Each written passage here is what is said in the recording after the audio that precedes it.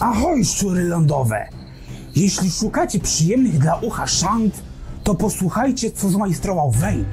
Inaczej zamienię wasze życie w koszmar.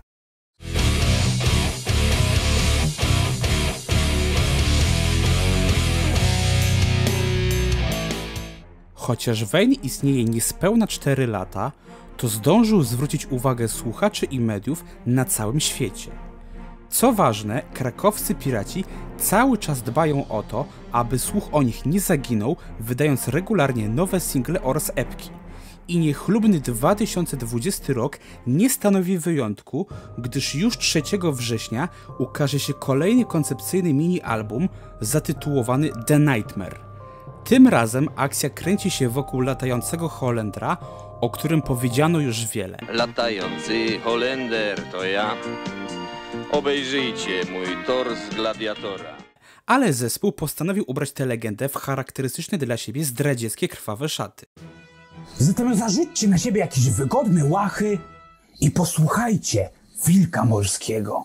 Nowa muzyka od Wayne stoi ponownie na wysokim poziomie, choć wyraźnie słychać, że powstawała w różnych okresach.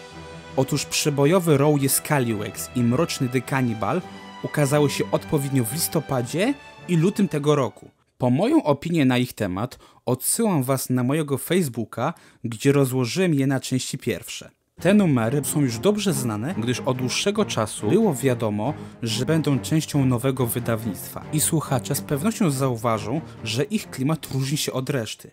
Otóż The Burial brzmi jak wstęp do całej historii, na co wskazuje spokojniejszy, wręcz natchniony głos Marcina Parandyka.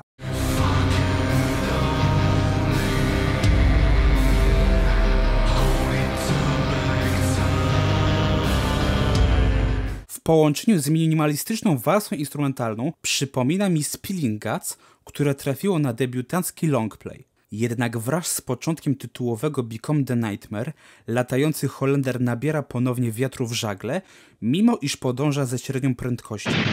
Numer ten został nagrany w niskiej tonacji na siedmiostrunowych gitarach, co dodaje muzyce Wayne pewnej świeżości, aczkolwiek jest to jedynie przystawka przed Walk the Plank, który nie tylko wieńczy omawiany mini-album, ale także go promuje. Dzięki skandowaniu tytułowej frazy w rytm agresywnych gitarowych riffów z marszu wpada w ucho, dodając do tego zapożyczony od Behemota melodyjny refren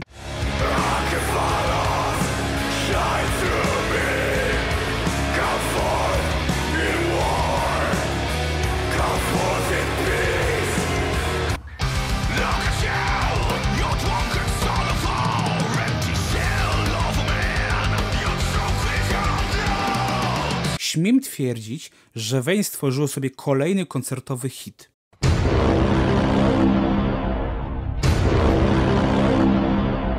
Jak już wspomniałem, nowe kawałki brzmią różnorodnie i w dużej mierze jest to zasługa tego, że zostały one nagrane z dwoma różnymi basistami i nowym perkusistą. Otóż Row jest i The Cannibal to ostatnie, jakie zarejestrowano z Łukaszem Łukasikiem, który de facto był drugim basistą w historii kapeli. Natomiast piosenki stworzone z Szymonem Tumilewiczem i Kamilem Bagińskim na pokładzie posiadają wyrazistsze partie basowe. Zatem fani niskich częstotliwości nie będą musieli szukać igły w stogu siana. Niestety odbyło się to kosztem wokali, które zostały odrobinę wycofane, a przez to są delikatnie nieczytelne, co jest odczuwalne zwłaszcza w The Burial. The Nightmare to raptem koncepcyjny mini-album, aczkolwiek udowadnia, że muzycy mają teraz więcej czasu na szlifowanie kompozycji. Nie mam wątpliwości, że sprawdzą się podczas nadchodzących koncertów, gdyż przy tak rytmicznej muzie trudno ustać w miejscu. A teraz, moje majtki, ruszajcie na ląd razem z Wayne i miejcie na oku wszystko, co pojawi się na waszym horyzoncie.